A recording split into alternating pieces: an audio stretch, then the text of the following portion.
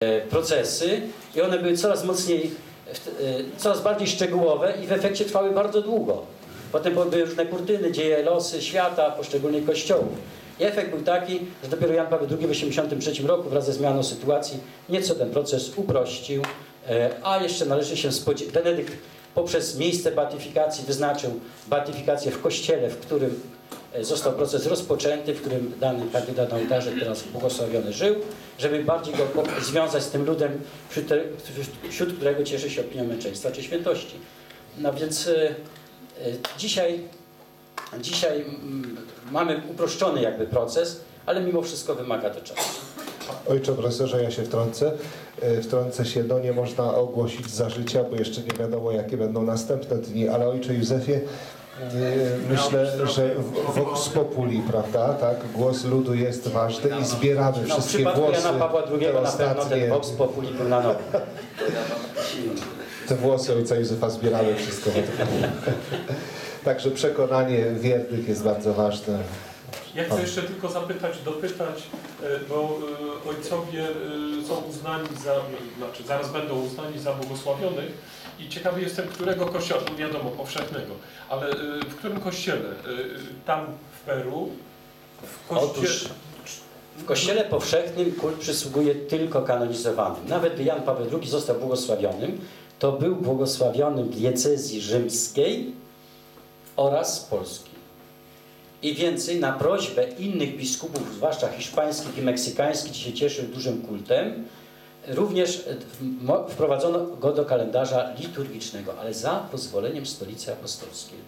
I w tym przypadku miejscem głównym e, kultu naszych braci jest e, diecezja Chimbote, ale wiadomo, że ma ten wydźwięk szerszy, więc na pewno Kościół peruwiański włączy ich do kalendarza jako pierwszych męczenników, o czym świadczą tego zaangażowania na początku już sprawy. I oczywiście beatyfikacja to nie jest ostateczne orzeczenie Kościoła. W przypadku męczenników takim potwierdzeniem będzie, jeśli udowodni się jeszcze zdarzenie cudowne im przypisywane ich wstawiennictwu po beatyfikacji.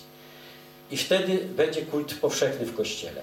I ranga tylko będzie różna w różnych kościołach lokalnych, diecezjach. Natomiast beatyfikacja jest pozwoleniem na kult y, publiczny y, danych błogosławionych dla danej wspólnoty.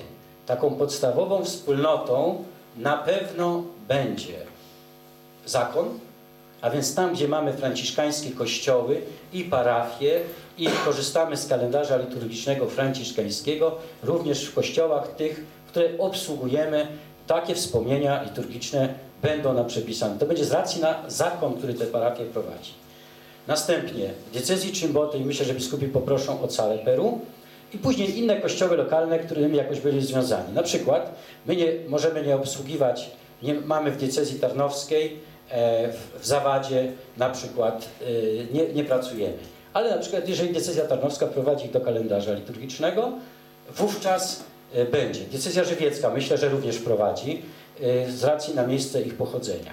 E, Być może i pięć, my mamy co prawda miejsca, e, diecezja legnicka jest też, nie? Ale ponieważ mamy miejsca, gdzie oni pracowali, to i bez tego, bez tej potrzeby, żeby rozszerzać również diecezję, prosić biskupa, albo biskup się będzie nas prosił, ponieważ będzie ten kult również w kościołach, które obsługujemy. Czyli indywidualnie biskup musi wystąpić, czy może na przykład konferencja biskupatu? Więc może również konferencja episkopatu, y, jeżeli wprowadza do kalendarza powszechnego dla danego kościoła. Natomiast w tym momencie pierwszym po beatyfikacji, bez jakichkolwiek glejtów i potrzebnych e, pozwoleń Stolicy Apostolskiej, ten kult publiczny im się należy w, koście, w, diecezji Chimbote, w naszym zakonie franciszkańskim i w miejscach, gdzie my obsługujemy, sprawujemy posługę. A jeżeli gdzieś jeszcze są związani oni z życiem danej diecezji, diecezja poprosi, to Stolica Apostolska na pewno się do tego przychyli, co często w pi- pismach spotykamy, słowo przychyli się.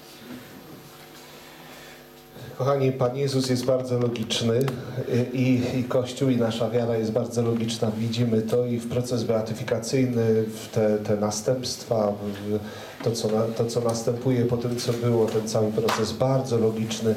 Jak widzimy, jest to ogromna praca, ogromna praca. Czasem mówi się o sądach kościelnych, a tam masz znajomego, to to wszystko się da załatwić. Nie, to jest ogromna praca, prawda? Widzimy jaka drobiazgowa i jak skrupulatnie prowadzona, aby służyć prawdzie. Dziękujemy serdecznie ojcu A na- profesorowi. Można Tak, jeszcze tak, koniec? Otóż e, o tym, że ta świadomość ich męczeństwa i kult istnieje w Peru, świadczyły uroczystości dwudziestolecia śmierci naszych braci, ale też i teraz e, zastosowano wiele rzeczy przed beatyfikacją. Ja chciałbym przywołać, bo bardzo trafnie naprawdę oddaje owoce tej pracy i śmierci męczeńskiej naszych braci e, jeden z kompozytorów, Enrique Messias. Oni są tutaj, są świadkami nadziei. Ich kry wypełnia kwiaty mojego kraju. Męczennicy ci ludowi temu ofiarowali swój głos, pracę i uśmiech. W oczach ludu pozostało ich spojrzenie, a w sercach wykuta miłość, zbudowana wiara i pojednanie. I o tym, jakie to było Peru 1916 i 2013, gdy byłem drugi raz w Wielkim Tygodniu, mogę się oświadczyć, że bardzo trafnie to oddaję. Wykuta wiara i pojednanie. Jest to gołym okiem także w Peru już teraz e, doświadczalne. Dziękuję. Bóg.